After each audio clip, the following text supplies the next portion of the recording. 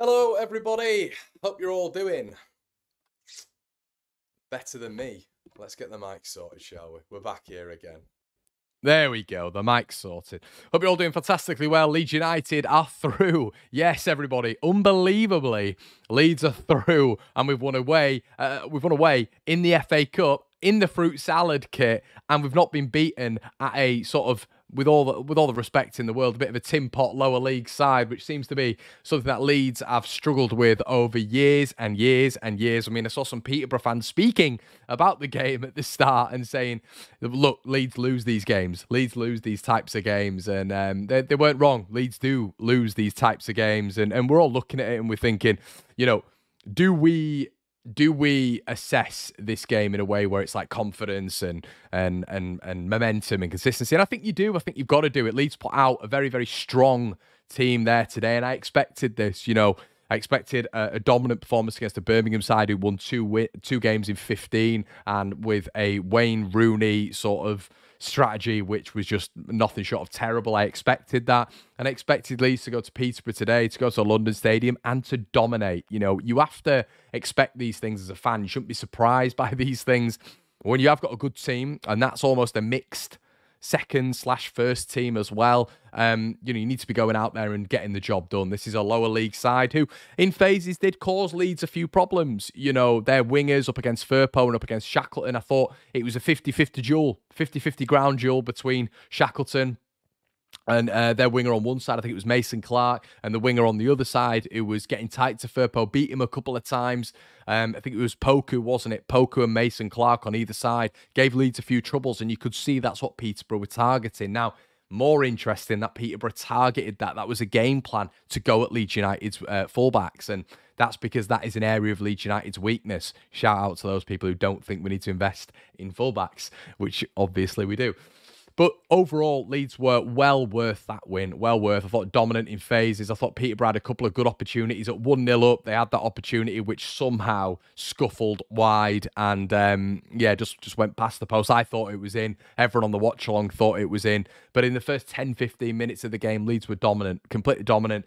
Um, I, I sort of slated Patrick Bamford a little bit on the watch along for us not going 1 0 up uh, with with with Pat Bamford, and and I did think, to be honest with you, he should have scored inside about five ten minutes when he had that header on the six yard box on the penalty spot that should have gone in.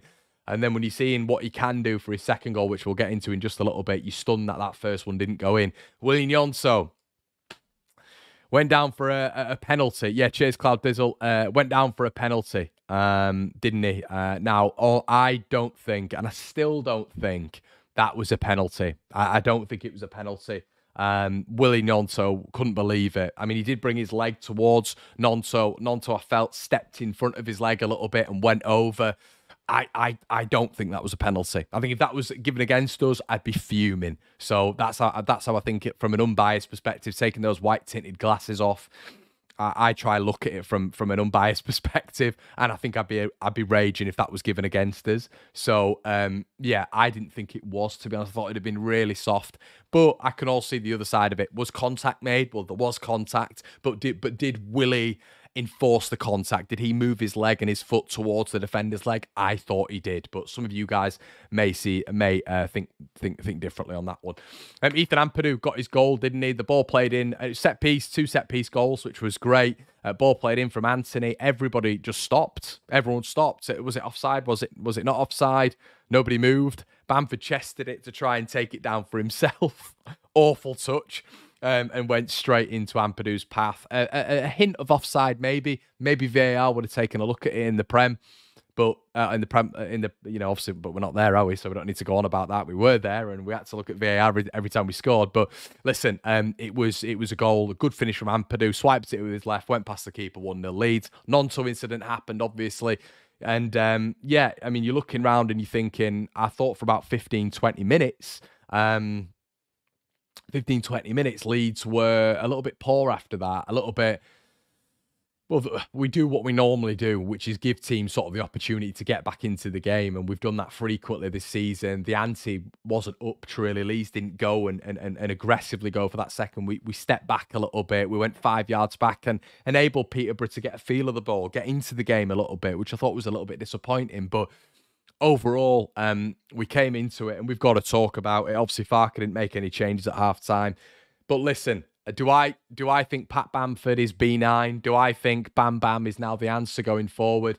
I do not. Do I think he's good enough? No, I do not. But what he has shown is that he's still got it in the locker. He's still got elements of quality. That goal was nothing short of world class. That is a world class goal. And what I loved about it is, and I said this on the watch along, um, we went route one. We bypassed the press, which when you get in Bamford, what we've seen with Birmingham, what we've seen with Peterborough today is the system changes for Leeds is the most interesting thing. Leeds go above the press, right? Which is what I've called for now for two months. What can we do differently, Connor? Don't play Piroe and Rutter because we can't enact any sort of bypass of the press because we won't go over the top. Now we're starting to see Leeds go above the midfield congestion, the midfield mid block. We've started to see that now. It's a different way where Leeds United can play stylistically. It's not just through the pitch. It was turning very Jesse Marsch esque, wasn't it? Everything was played through the middle. We're actually going above and beyond. That's exactly what I believe it was Joe Rodon did. Played the ball to Bamford, and it, a, a beautiful chest, which he struggled with on the first goal, even though it'll go down as a Bamford assist. And um, an absolutely stunning volley. A stunning, stunning, stunning volley, which ended up in the top corner and was was nothing short of it was a world class finish. A world class finish. Um, and you can't get around that. And uh, listen, he's still got it in his locker. But I'm not getting too you know, I'm not getting drawn away with all this. We, we, will see fans online saying now that he is the answer. But I think systematically is the way you've got to look at Pat Bamford. What does he bring to this Leeds United side, which is different from Joel Piroe and which is different from Georginio Rutter? Bamford is on a regular game by game basis is probably a three to five out of 10 in terms of quality. We all know that. Let's not rewrite history. But as I've mentioned before, stylistically, tactically, strategically, he gives us something completely different to what you have when it's Rutter and Piroe. Now, what you turn around and say then is, well, why did we go and buy Joel Piroe? That is a very good question. Why did we spend 16 million on Joel Piroe? That is another very, very good question because Leeds aren't able to play with an out and out number nine with Joel Piroe in the team. We've seen that. We've seen that with Rutter plays the number nine when Piroe's in the team. You know, so and you've seen it consistently with Piroe and Rutter when it comes to Bamford. I think Piroe is better with Bamford ahead of him which says he's a number 10. He's, he's, still so far apart from Pat Bamford today. Bamford's always on the last line of the defence, always between the centre backs, always off the shoulder of the centre back. You saw Knight constantly doing this over his left shoulder, looking for Bamford. They don't need to do that with Piroe. So, all you guys who are still convinced that Joel Piroe is a number nine, why every single time when we go forward is he still five, five to eight yards behind Pat Bamford? In terms of Leeds progressing through those transitions because he's not a number nine. Never has been, never is a number nine. Isn't. Yeah, we can talk about it all we want in terms of we want him to be a nine. He's not. Hence why he's playing behind Pat Bamford in an FA Cup game against the League One side. So that's what we've learned about Bamford. He's made, I think Rutter looks better when Bamford's on the pitch. The problem is Rutter looks better when Bamford's on the pitch. Piroe looks better, in my opinion, when Bamford's on the pitch because then you've got two proper 9.5 slash 10s in behind your actual number nine.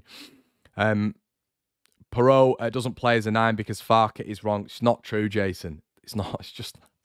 It's just not true. It's just not true. Uh, sorry. Um, and Stephen, you're here, aren't you? You're here. Thanks for the view, mate. Good boy. Thanks, mate. Good boy.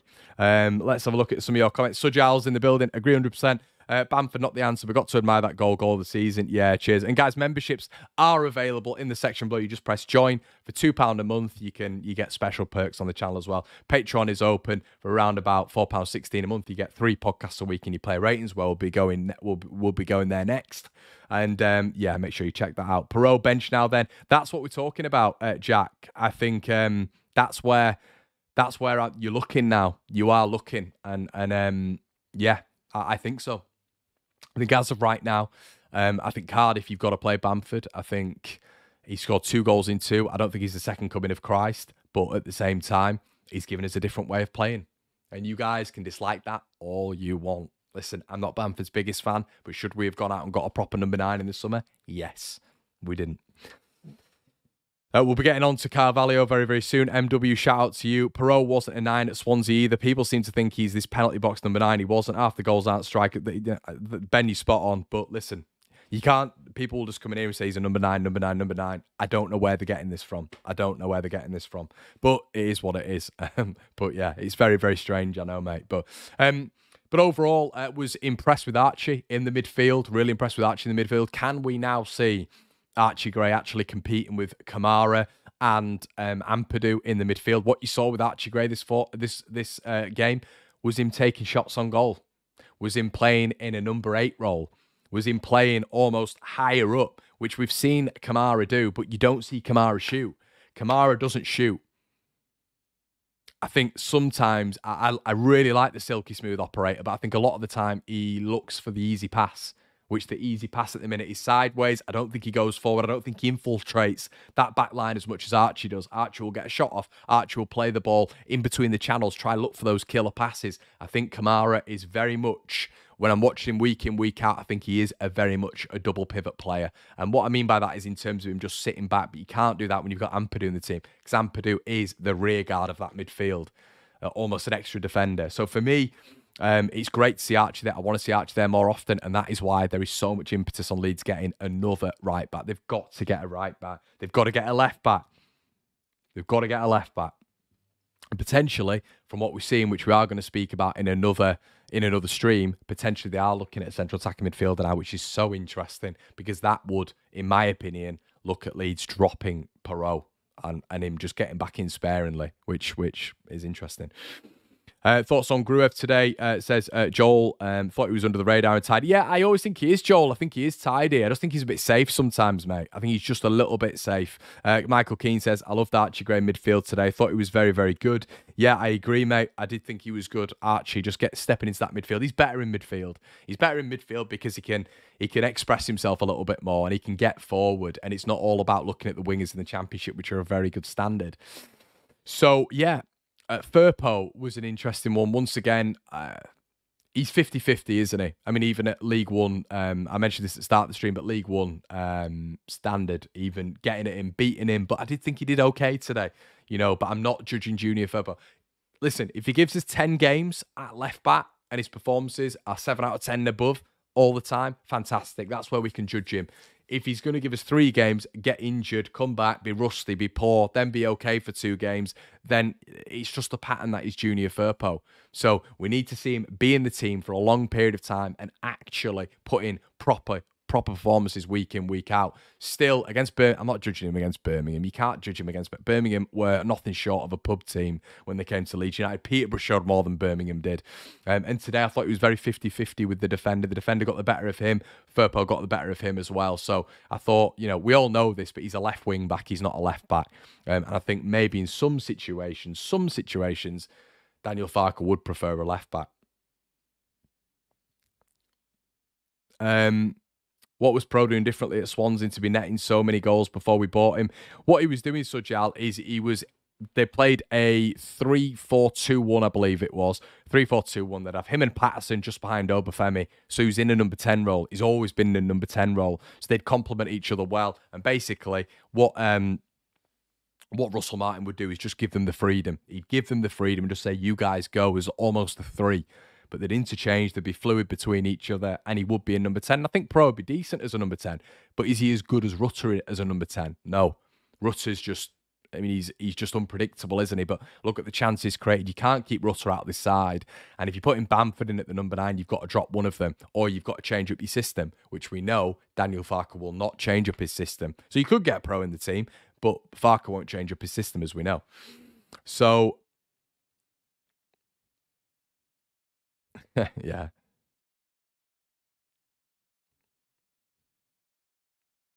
Bam is the Bamford is the bomb, says a lot of people. Uh, Damar, uh, uh, sorry, Domston says, uh, would could you see uh, Bamford, Rutter, and Piroe starting for us? No, mate. I think it's two out of the three, two out the three for me. But yeah, Gruev, Gruev was class, but yeah, I don't think he should be over Kamara. But there is hope all all you supporters who gave all the hate and abuse to Patrick Bamford ready to tweet on, but Jill, Jill, Oh dear. Listen, one of my best mates, Brownie, is going to be giving me this as well. So listen, um, I didn't give abuse to Patrick Bamford. I don't condone abuse, but saying he's not good enough, I will still say that. But he is a number nine and he gives Leeds something different strategically to play with. Um, so I don't mind him there at all. It gives Leeds another option, um, route one, which I think helps. But some really good nod ons. Listen, if he can elevate his game at the age of 30, then fair play to the lad. But normally on trans patterns and data, you don't see that. But I'd love to see him you know, if he can score bloody 15 goals this season and do that, then that's fantastic. Brilliant. But I don't think he'll be able to do it. I need more than Peterborough and Birmingham to uh, convince me about Pat Bamford. If he goes down to Cardiff and wins as the game, you know, and if he starts, you know, playing exceptionally well week in, week out and leads up better with him on the pitch, we can have a conversation, but that's yet to be seen. um, but we'll have to wait and see. Um, Klaesson Connor looks comfortable. Yeah, he looks all right. I mean, the I mean, there was there was he didn't once again. Um, Rad, I, am not I'm not being negative here. I just want everybody to contextualize who we've we've played in the last two. We had to get the job done. He's got clean sheets. Firpo's got a clean sheet in a back line. Um, but let's just calma, calma, calma. Let's play some proper teams in this division, um, our division, and um, let's see where we're at. Let's not just get too carried away, is what I will say. Not get too carried away. Two really important wins there. We've won in the FA Cup. We've scored six goals, two 3 0 victories, um, two dominant performances, I would say. But let's look at a run of maybe five to 10 games in the Championship where we're playing some real killers in that division. Away games as well in the Championship where we just can't seem to get any momentum going. And, and, and dominant games and varying ways of playing and seeing some players come in and players go out and just consistency and momentum with the squad, then I'll make a judgment. I'll make a judgment, and that that goes to collective as a general. When we're looking at Klaesson, um, I, I, personally think we've got three average goalkeepers. That's what I personally think. Um, you guys might disagree, but on the whole, um, uh, yeah, yeah, two clean sheets for him, which is good. Um, but yeah, anyway.